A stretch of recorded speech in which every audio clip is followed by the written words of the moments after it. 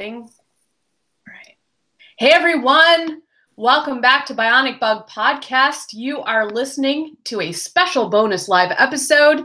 This is your host, Natasha Bajema, fiction author, futurist, and national security expert. Before we get started, I'd like to thank all veterans for their service. I also want to remind listeners that the views expressed on this podcast belong to the participants and do not represent the official position of the Department of Navy, the National Defense University, the Department of Defense, or the US government. I'd like to introduce my special guest this evening, Samuel Bennett. He's a research analyst with the Center for Naval Analyses International Affairs Group, where he's a member of the Russia Studies program. He's also affiliated with the American Foreign Policy Council, where he is a fellow in Russia Studies. Today, we're going to be talking about robotics, artificial intelligence, and Russia. Sam, welcome to the show. Great to be here. Thanks for having me. Why don't you introduce yourself a bit and tell us how you got interested in these fascinating topics? I've been studying emerging technologies for a number of years. So when I joined CNA's Russia program in 2016, we were in the midst of extensive research into emerging Russian military capabilities, and that included military modernization, science uh, and technology achievements, the military industrial complex. And I began to notice uh, that around the year 2013 or, or, later, and later, I should say, uh, Russian media has been uh, full of interesting uh, announcements, analyses, stories, vignettes, uh, and general data about the emerging Russian unmanned military systems.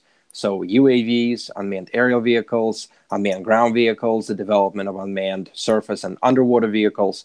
And then around 2016 onwards, we're seeing a lot more content and announcements and debates and general data in Russian military discussions about artificial intelligence and what that means for the Russian military and society at large. Excellent. So I read in one of your articles that you talked about the roboticization of the Russian military. I'm wondering if you could tell us what you mean by that. So right around 2012, 2013, Russian military has begun to codify its approach to the development of unmanned military systems. So the Ministry of Defense, or MOD, has opened several departments uh, in in within the institution that specifically dealt with uh, the emergence of unmanned military systems and their acquisition, testing, and evaluation for the Russian military. So we actually have uh, the departments within the MOD dealing with all kinds of robotics. Um, and so Russians are openly debating the importance of robotics to the military forces. They're holding events, they're holding discussions, they're holding symposiums. In fact, one of those symposiums is called just that robotization of the Russian military. Uh, it's been running for two years now. It's going to be an annual event where the government, the military, and the private sector get together and discuss the recent achievements and what that means for the end user. Well, I mean, help me understand why why is Russia so keen on robots uh, for their military? Well, uh, they're seeing uh, unmanned systems as great mission multipliers. So just like the United States use of UAVs, just like the way Israel and other countries have been using UAVs to uh, to see farther, to see better, to gather intelligence, surveillance, reconnaissance, to provide target acquisition, Russians are seeing the emergence of unmanned military systems as a natural evolution of military forces today and in the future. Actually, I read that um, Russian command and control, so their ability to leverage information and communications in the military was kind of behind the times. Is that one of the reasons why they're so interested in robots? Absolutely. And, uh, you know, they're seeing other countries pull away in the design and development and use of various unmanned military vehicles. So they are keen on using unmanned systems, first of all, to save soldiers' lives. And second of all, to be more precise in the way they conduct combat. So, for example, Syria has been a major testing ground for Russians in the way they use various military systems. In fact, the MOD stated that over 200 different types of weapons were tested in Syria. And that included extensive use of unmanned aerial vehicles and various tests of unmanned ground vehicles, including unarmed versions. So, yes, uh, their command and control, communication, computer intelligence, surveillance, and reconnaissance capabilities, or what we call C4ISR, is behind that of the United States and some of the more advanced nations, but they're catching up really fast. In fact, in Syria, they were testing a variety of systems that created a major leap in uh, quality of Russian C4ISR and uh, command and control capabilities. Would you say that the Russians are ahead of the U.S. and China in terms of testing these robotic cap- capabilities in the field because of the the the, the um, military action in Syria?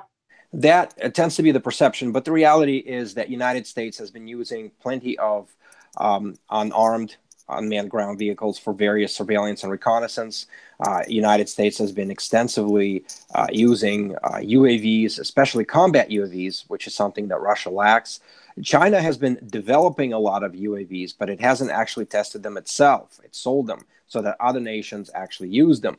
Uh, China is developing unmanned ground vehicles as well. So, uh, in some ways, the United States and China are ahead. In some ways, Russians are actually developing faster capabilities than their nearest peer competitors, such as uh, United States and China. So, yes, Russians tested two armored unmanned ground vehicles in Syria, Uran and uh, possibly uh, Soratnik. Uh, but again, the United States has been using UGVs for quite a while. In fact, um, uh, United States had several thousand smaller UGVs of all kinds in its arsenal.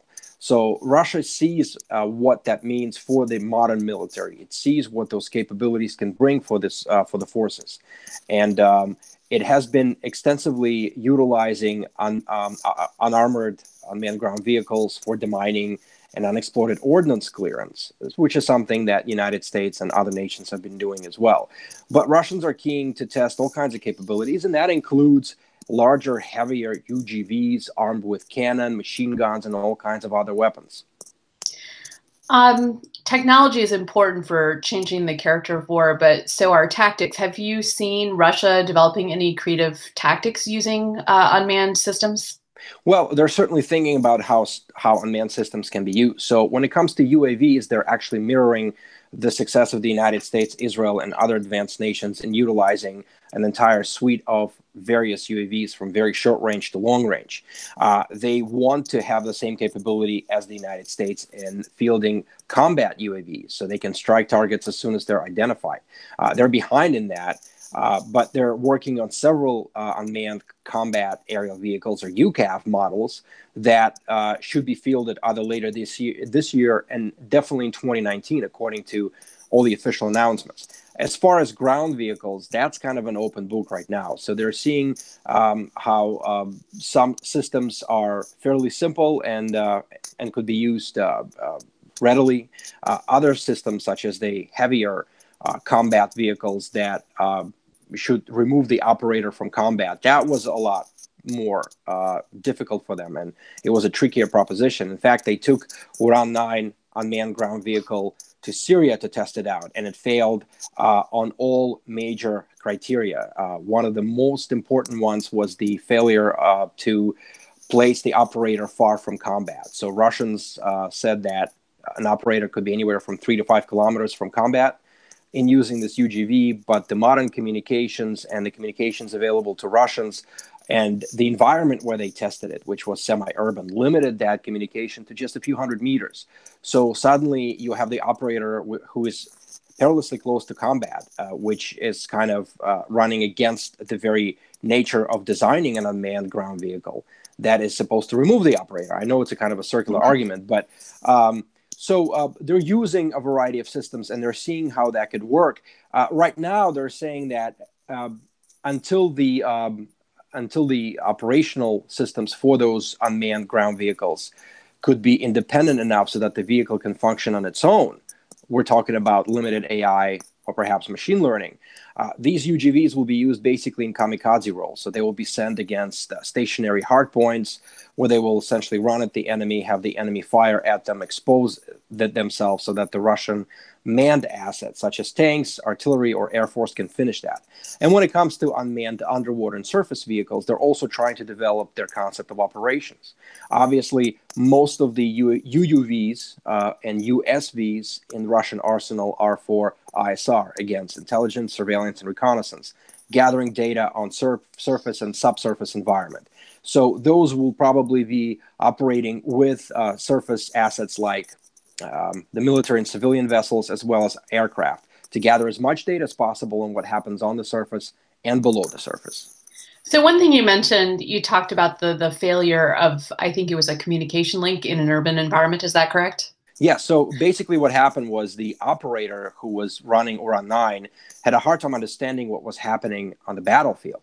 So not only did the operator have to be close to the actual UGV, so just several hundred meters or a few thousand feet, um, having action on flat screen monitors wasn't enough for the operator to get a full understanding of what was happening. And this is one of the arguments um, that essentially limit the use of unmanned systems in combat. And that is a manned asset, a soldier, has a quick understanding and a quick uh, review of his or her combat situation. When you have an unmanned ground vehicle in place where a camera has to be in the swivel and you have to kind of uh, gather data, that slows down the uh, conceptualization and understanding of what happens in combat. So, those two main issues. So, um, the inability to remove the operator far from combat and the inability of the operator to fully understand the combat situation were great impediments in further use of unmanned ground vehicles in their present form. So, what we have right now in Russian uh, military across their uh, forces is essentially unmanned systems 1.0. So, they've built a range of UAVs and they use them successfully in Syria.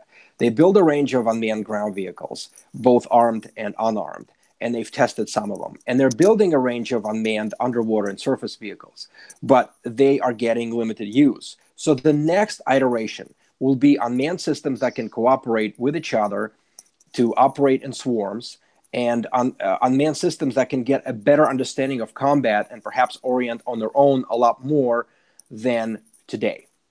So, what you're saying is that Russia is moving towards more autonomous systems to get past the problem that that basically of the communication problems, but also bat- battlefield situational awareness problems. Well, that's that's the wish list. Of course, that will depend a lot on software, on um, on high tech components, something mm-hmm. that Russia today is struggling with. So let's talk a little bit about um, autonomy and machine intelligence. Um, because often those two are conflated. So I'm yes. curious to hear how, how do you draw the line between those two topics? Well, Russians are actually um, using the terms uh, uh, automated control systems and artificial intelligence and intellectual systems or smart systems interchangeably. So it really, I guess, I mean, I, I suppose it depends on a service that is discussing AI, on specific individuals talking about AI, and uh, specific military departments which which are discussing it. Whether you're talking to uh, whether we are talking about UAV operators or UAV developers or people, for example, who work in air defense uh, uh, and electronic warfare or maybe other services. So they understand that artificial intelligence is the ability of a machine to make decisions on their own, just like a human would, based on a constantly changing set of circumstances. So that difference from machine learning, where a limited set of algorithms and data is fed into a system, and the operating um, device, whether it's a, a, ground vehicle or a UAV, can only operate within the set of algorithms. So artificial intelligence is the end all and the end result and the wish list for the Russian military. But again, getting there would probably be a little choppy considering some of the um, experimentations and results that Russians are getting today. Mm-hmm. So, but let's talk about autonomy a little bit more because it's not the same thing as machine intelligence. And I just, um, it's a big topic in the news these days autonomous systems. Um, but autonomy is not intelligence. And I understand that um, there are differences in policy between the US and Russia, particularly, but also China, in terms of what they're aiming for with autonomous systems. Do you, do you have views on that? So I can comment on uh, the Russian stance on the lethal autonomous weapon systems debate, or LAWS, L-A-W-S. Uh, when it comes to that, uh, for the last two years, Russians have staked their position as follows. They actually want to have a human in the loop when it comes to lethal autonomous weapon systems. They are not comfortable with releasing the systems to do their own taskings yet. Again, um, the software components, the high tech components, the mathematical, and the operational part of that isn't quite ready. But at the same time, they're saying that an international organization or international treaty or even an agreement between nations should not limit a given nation's ability to manufacture weapons. And so, while they agree that a human in the loop is a great idea for autonomous systems, they're currently saying that look, the autonomous systems under discussion haven't been invented yet, they haven't been built. It's in the realm of science fiction. Mm-hmm. So, what kind of discussion could be had about things that are not there yet? So for them, it comes down to um, sovereign right of nations to build a variety of weapons. So you're saying the 2.0 systems are not yet possible. So these are the, these would be the systems with more autonomy. Correct. Okay. Um, so let's talk a little bit about autonomy um, for the viewers in terms of what are the benefits of autonomy from a military perspective, and then what are some of the risks, both from a military perspective, but also um, society. Well, I think for the military, if we really boil it down, it means for a given weapon to or uh, that that is capable to orient itself correctly in battle, assessing the situation, determining the risks, assessing the threats, targeting the correct type of threats, and then withdrawing once the threats have been neutralized without causing too much collateral damage. And presumably, in the best case scenario, that is done with as little human soldier involvement as possible. That is what the Russians are saying. They want autonomous military systems to save soldiers' lives and to give military greater precision in combat. But um, again, this this type of technology is proving elusive, at, at least for now. And so Russians see autonomy much the same way that Americans and Chinese and others see autonomy. So ability of a given type of weapon to orient itself and to make proper calculations under constantly changing uh, set of circumstances in combat. Basically cutting through the fog of war with its more precise capabilities. So, understanding that it's now science fiction, let's think into the future and let's say that that uh, autonomous systems are possible. Um, can can a com- can a country like the U.S. Um, resist autonomy if other countries are going in that direction? Probably not. I think we're engaged in a very um, significant technological race, and just like uh, United States competed with other nations when it came to uh, ballistic missiles or space capabilities, uh, high tech and internet capabilities, uh, other ground, air, cyber, space, uh, you know, uh, maritime capabilities. We are now seeing a larger number of nations seeking capabilities with unmanned systems. And right now, again, we are in the unmanned systems 1.0 universe. So these are remote control devices which can operate uh, based on a variety of preset tasks and uh, hopefully take the operator out of combat to a range of about you know s- several kilometers in the best case scenario. Um, we have China working on it. We have Russia working on it extensively. Other nations are working on it. And because a lot of the components within those unmanned systems are actually commercial off the shelf technologies, which are readily available via internet or uh, even an electronic store, we have even uh, more actors jumping into the unmanned fray. And we're talking about not just states, but non-state actors, whether they be criminal organizations or terrorist organizations, certainly ISIS comes to mind in their ability to to um, outfit very uh, cheap uh, Chinese DJI drones with bombs and rockets and cause havoc amongst the Iraqi and allied forces. So the uh, the asymmetrical advantage enjoyed by ISIS in that regard was absolutely incredible. If we compare the same capabilities five or six years ago, when these UAVs were not as readily available.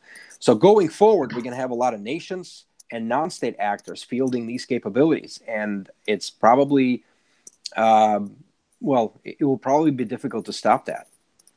Yeah, I mean, one thing um, that I've reflected on uh, a lot about drones is that they, for the first time in human history, allow anyone to project power into the air. So even though I can go and buy a $500 drone, I can still put a camera on it. I can put various things on it. I can do surveillance. I can, um, you know, probably right. cause harm to somebody. Right. And that previously I could not do that from the air as a private citizen. And so what you're saying is essentially everyone's not only going to be able to project power into the air, but also someday, not too far off, potentially an autonomous air force. Yeah, absolutely. And Russians have encountered that in Syria as well. So, in fact, today they are developing um, tactics, techniques, and procedures in dealing with small unmanned aerial systems. In fact, they're pushing the counter UAS or unmanned aerial system training down to practically every uh, military service uh, within the Russian military so that every soldier in uniform should know how to deal with a small UAV. That's interesting. Mm-hmm. So earlier you were saying that um, Russia is also developing undersea unmanned capabilities, um, pri- primarily for ISR, so I assume that falls under the topic of ocean transparency. What what are their um, ideas for that capability? Well, uh, historically, uh, Russian Navy, as well as other navies, have had a hard time seeing underwater. So that could be done with various surface-based uh, acoustic systems, uh, aircraft-based systems, uh, maybe submarines. But again, these are manned, expensive assets. So today, it is possible to launch uh, a large number of unmanned underwater vehicles that would be providing basically extra sets of eyes and ears below surface. And that that is what the russians are aiming for. The capability that could be launched via their surface ships submarines even from aircraft uh, unmanned underwater vehicles that could dive to various depths from several hundred feet to several kilometers um, to um, to UUVs and USVs cooperating together to unmanned underwater and surface vehicles cooperating with UAVs, ex- essentially uh, developing this massive ISR net that would be directed from uh, a given m- military site, whether it be from, from, from a submarine or a ship or somewhere on shore. Obviously, this affects the stealth advantage of submarines very much so.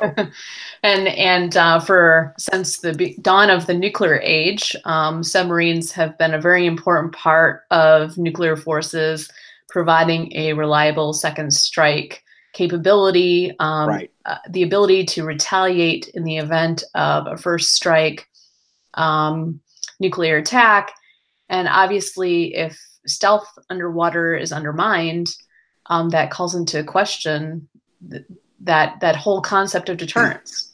Well, I mean, unmanned underwater vehicles can be everywhere at once, not unless you launch several thousand of them um, across the uh, major traffic uh, uh, waterways below and and uh, and and above surface. Uh, but yes, you're right. Um, if um, if a submarine is located, its its capabilities greatly diminish. So we're probably going to see the emergence of counter UUV and USV capabilities, just like we saw the natural evolution of counter UAV capabilities emerge soon after UAVs took flight across world's militaries and non-state actors. I think the good news here is that the counter UUV's capabilities probably a little bit easier than counter UAV capabilities. I don't know. What do you think? Well, we have um, you know, a lot of ideas on the drawing boards, a variety of sensors, various acoustic technologies, but it really depends on what kind of unmanned underwater vehicle is fielded, especially at what depth and what the capabilities are. Certainly, the smaller, cheaper systems that have to be closer to the surface would be more readily identifiable than, for example, a UUV that dives to the depth of three or four kilometers and stays there, kind of in a very quiet mode, waiting for a submarine to pass. Well, let's talk about some of the creative things that Russia's doing. Um, I read today that they have developed an owl drone. Yes. Um, so R- Russians are looking at ways that uh, UAVs could be used in offensive and obviously defensive uh, uh, roles. And so uh, the idea behind a drone, a biomimicry drone that looks just like an owl, or for that matter, a falcon or an eagle, is so that uh, this type of UAV can guard uh, various military sites and especially airports so it could chase away birds. That is at least the official explanation behind the development of an owl drone. It has an electric motor, it's very quiet, but at the same time, it may have a very significant offensive capability. If you don't know what you're looking for, you're not looking for it. So if you're scanning the skies for a drone that looks like a drone, you're probably going to ignore uh, a raptor bird, whether it be an eagle or a falcon or an owl. Uh, but if that owl is uh, aimed with uh, a variety of sensors that can scan the ground for adversary military capabilities or signals or soldiers, then you certainly have a very significant mission multiplier. And when you have an owl drone that looks just like any other bird in that part of Eurasia, um, northern Russia, northern European plain that is home to a variety of uh, predatory birds, again, if you don't know what to look for, you're not going to look for it. It feels very Orwellian to me. Um, Indeed, and China didn't China test uh, a flock of UAVs that look just like birds somewhere in their uh, in in the western uh, regions as well. Yeah, I think I might have read that. And um, actually, these small drones that look like animals, insects, um, have been featured in recent films. So there was, um, I think, in Miss Sloane, there was a roach, a cockroach drone that ended up, um, spoiler alert, that ended up um, ruining the day uh, for a couple of bad guys who were basically recorded. And then um, in Eye in the Sky, which is actually a movie about the use of combat drones there's a tiny little bird slash insect drone. I can't remember. I, I think it's a beetle. So this uh, the action takes place in Somalia, and Helen Mirren plays a British general. Uh, so this beetle drone has to be operated within a, a close proximity uh, to the operator, actually. So the the uh, the British spy, the British Somali spy, had to be close to the action. But the beetle j- looked just like every other beetle, so it had a short battery life. Uh, just a few hours. But in those few hours, it provided very key intelligence. And again, um, if you don't know what to look for, you're not going to look for it. Exactly. Which, which, which brings to mind the coming paranoia. If people are going to be afraid of cockroaches, insects, birds, and any other critters, thinking that's a drone, what is that going to do to our society? I already don't like cockroaches, so whether they have a camera on them or not. But obviously, I've taken up this theme in my fiction novel, Bionic Bug, with swarms of live beetles with cameras on their backs and microelectronics control their flight. So this has definitely entered my psyche, and um, I'm a little concerned about drones that don't look like drones and super small drones, and right. you know right. what that all means for privacy surveillance. Um, because I could see those owls having many other more uh, malicious functions. So speaking of Russian creativity, um, there's another system that causes me concern, and that is the Poseidon. Can you tell us about the Poseidon? So uh, a couple of years ago, Russians unveiled um, a, a, large nuclear-powered unmanned underwater vehicle, which they claim is supposed to be targeting uh, adversary shores. So this type of drone would carry a nuclear warhead that would explode either causing significant damage to shore based infrastructure or cause a miniature tsunami that can cause extensive damage to the adversary infrastructure, or it can target adversarial ship groupings like the, um, for example, uh, vessels that accompany an aircraft carrier somewhere out in the ocean. And the Russians claim that the nuclear propulsion is close to completion. Uh, they claim that they're starting testing of the Poseidon underwater drone. And this certainly caused um, a lot of heart palpitations across the world militaries. Yeah, I mean, it's unmanned, autonomous drone. And I, I read that it, it's supposed to carry a 100 megaton nuclear weapon. Well, I, well, I mean, um, a lot of a lot of these announcements, you really have to kind of take it with a grain of salt. Uh, you have to wonder whether it's PR or actual capability.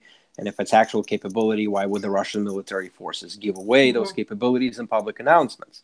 But yes, potentially it can carry a very large nuclear warhead. I don't know whether a 100 megaton is feasible, but again, I'm not, you know, I I, I haven't, uh, you know, I haven't read anything that would that would counter that. Uh, Maybe. One, one thing that we do have to remember is Russians claim that this thing can go fast and it can be quiet.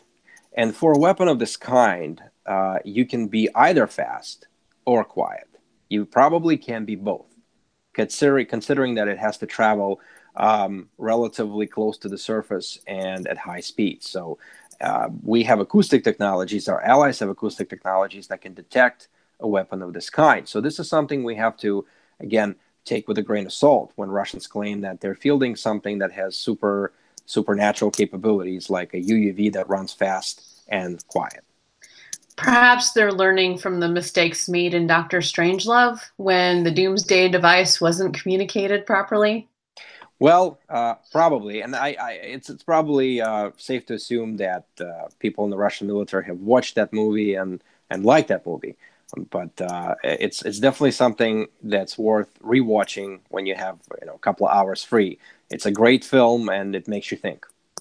So they do they so when I read about it, they consider this kind of a last ditch effort, kind of like yes. a doomsday machine in the sense that, okay, things are really bad. And so this is what right. we're going to do. Um, noting that you can't go fast and be stealthy at the same time. If they choose stealth, which is what I would choose, um, it could potentially be a not a last ditch effort, so to speak. Well, um, it could be um, a perfect revenge weapon, obviously. If it goes stealthy and slow, it becomes not a secondary strike weapon, but a third strike weapon. Um, and uh, let's hope it never gets fielded. But uh, I think we have to recognize that Russian military, and especially some of its uh, uh naval industrial complex, d- does still have extensive capability to manufacture weapons that certainly put United States military on notice. Yeah, um, most definitely. So, do you have anything else you want to say to us before we close out? Well, um, I think uh, Russian developments in artificial intelligence are worth watching. Their debates and discussions about the use of artificial intelligence in combat merit close attention. The military in uh, in Russia is taking a very close and hard look at what the artificial intelligence means to them and what it means for the next generation of weapons that they're fielding, especially unmanned systems. And Russians are talking a lot about swarms, whether they be in the air, on the ground, or below and above, uh, or uh, yeah, on the surface or below surface. And uh, swarm uh, technologies would have to be guided by a system that will probably approximate uh, artificial intelligence, where swarms will be able to adapt to the changing circumstances, communicate uh, between each unit, and uh, fulfill the mission. So that is definitely something that merits close attention. This conversation has made me think of so many new fiction novels. Um, uh, Tom Clancy-esque, you know, great power novels uh, between Russia and the U.S. again. Um, so you have definitely provided us with a lot of food for thought. Thank you so much for joining the podcast, and uh, we really appreciate your time.